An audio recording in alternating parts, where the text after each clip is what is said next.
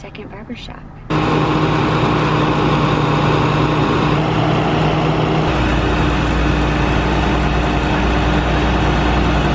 Today's a big day. Woo! Looks legit. Life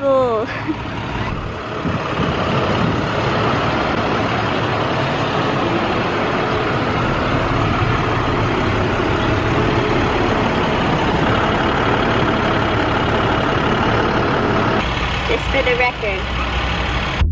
All right, today is March 27th, uh, approximately 11:30 in the morning. In the morning, and we are on our way to go buy the first barber chair for the new barber shop. I have five chairs. I need three more for a total of eight. We're gonna have eight chairs in the new shop.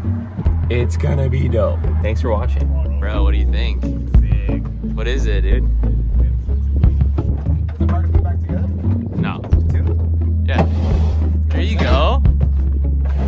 Chicago strength right there.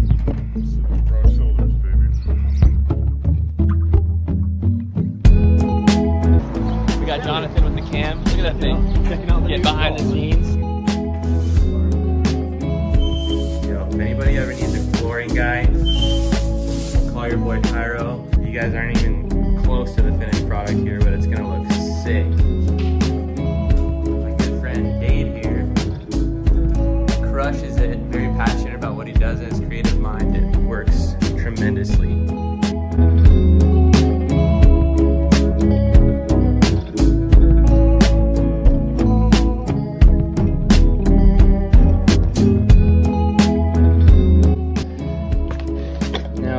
may not be my sinks, but.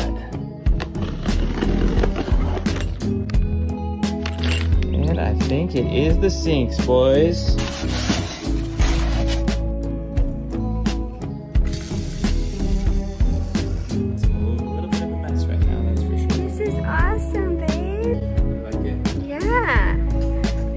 The whole space?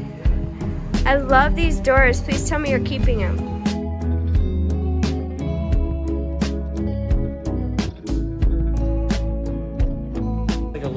Like a hey you guys remember the old spot you know break room slash Wait, oh my gosh, wait, what? it's gonna be like a break room slash like waiting room so Babe! when people come in here they're gonna come in here and wait instead of like out here That is so cool! so i'm thinking about making it like A man cave. yeah like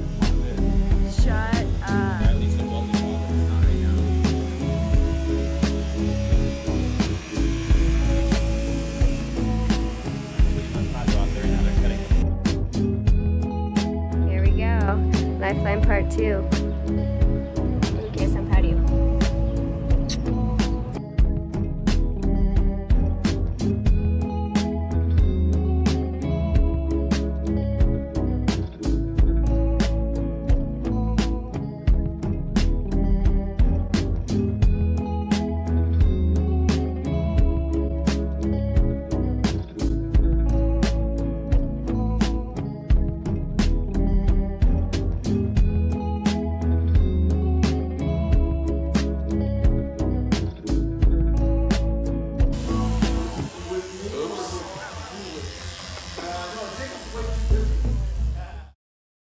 It's an exciting time for Chandler Barbershop owner Jacob Hallaby. we love our job we love our job and we're excited to share our new space with our clients You could say Governor Doug Ducey's decision to allow barbershops to reopen is throwing him a lifeline.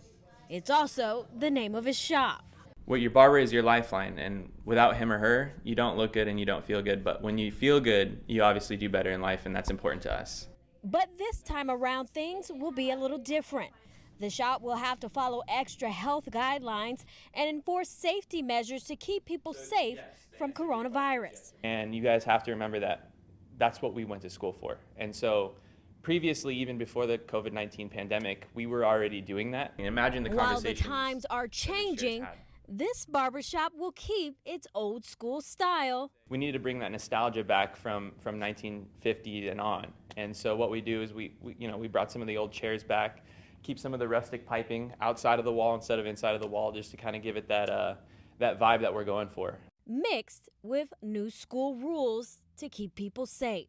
These steps, along with continuing to social distance, are part of the governor's orders for reopening. Obviously different. And Jacob says Barber School has already prepared him for times like this.